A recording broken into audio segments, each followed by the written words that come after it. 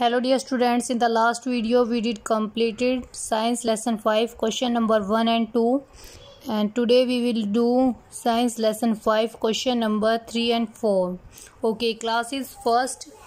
First of all write down lesson 5 heading is question answer.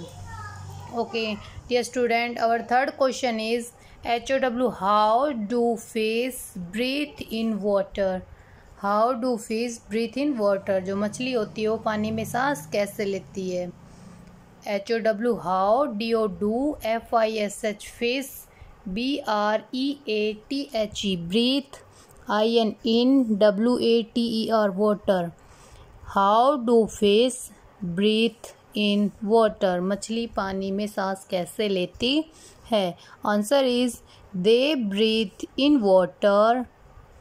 They breathe in water with the help of their gills they breathe in water with the help of their gills जो मछलियों के जो फेफड़े होते हैं, उनके द्वारा वो सांस लेती है, जो उनके गल फेफड़े होते हैं।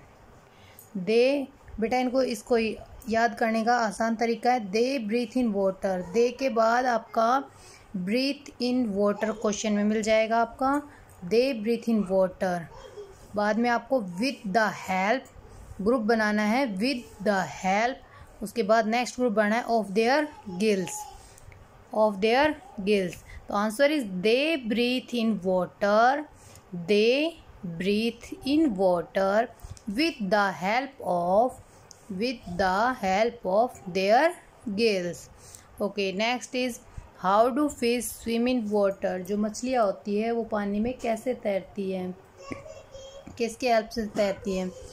तो answer is they swim in water with the help of their fins वो मछलियाँ होती है, वो पानी में अपने पंखों की मदद से तैरती है।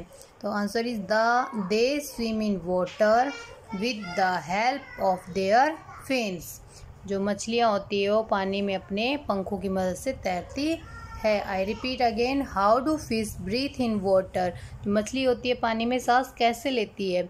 Answer is they breathe in water with the help of their gills अपने जो गल फेफड़े होते हैं, उनकी मदद से वो पानी में सांस लेती है। How do fish swim in water पानी में मछलियाँ कैसे तैरती हैं?